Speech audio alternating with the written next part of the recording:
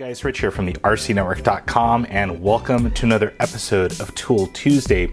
Now in front of you, you have the brand new MIP turnbuckle wrenches. These things are pretty cool and let's get these things out of package and see what you get. Initially offered in three very popular 1 10th scale sizes MIP recalculated the standard sizing over to metric, starting with 3.25 to fit most of your team associated 110 scales, 3.7 to fit most Yokomo, Protek RC, Lunsford, and JC turnbuckles, and then finally 4.0 to fit all of your TLR needs. Now, if you're not familiar with MIP, they started off with some great tools.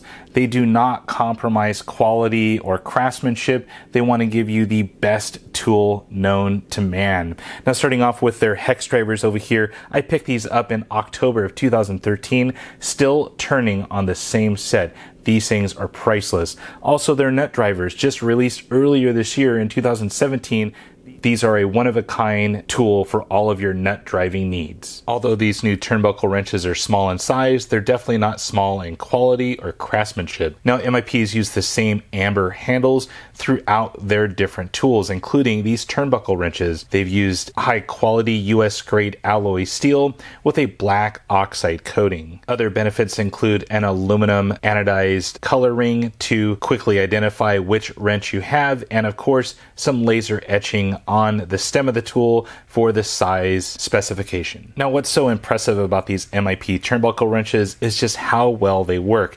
Now, what's really nice is they used a kind of clocked wrench design. So the wrench isn't a straight on design. It actually captures the turnbuckle at a specific angle to give you a lot more movability of the turnbuckle. So lots of turnbuckles these days are kind of hidden deep inside of the different rigs. So we have to kind of reach in there and then go ahead and turn them. And that's why you get that nice design here with these.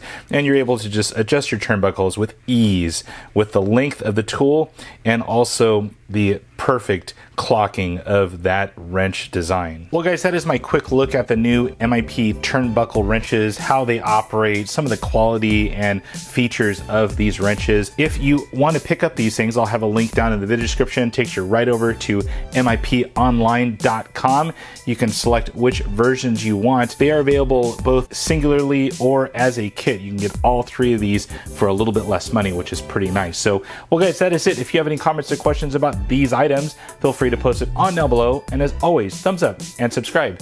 That's it for now, guys. Over and out.